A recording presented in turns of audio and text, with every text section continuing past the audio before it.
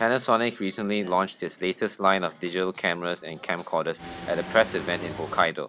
The company showcased its Lumix DMC LX5 and FZ100 cameras and the world's first 3D camcorder, the HDC SDT750. The highlight of Panasonic's latest line of Lumix cameras was the LX5, a premium compact 10 megapixel camera with a wide 24mm angle lens. The LX5 is able to shoot at an aperture of f2 allowing it to capture more light in low light conditions and produce soft focused backgrounds. Aside from shooting pictures, the LX5 records 720p HD videos in AVCHD Lite and even allows users to control the shutter speed and aperture manually. Panasonic also introduced a new super zoom camera, the FZ100.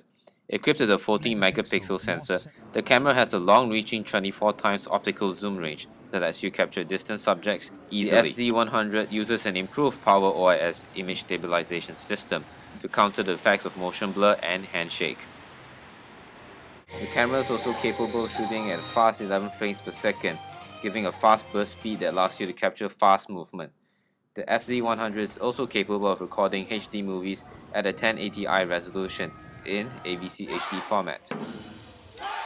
Panasonic also introduced the world's first 3D camcorder, the HDC SDT750, attaching a special 3D conversion lens that uses two lenses to capture two images simultaneously.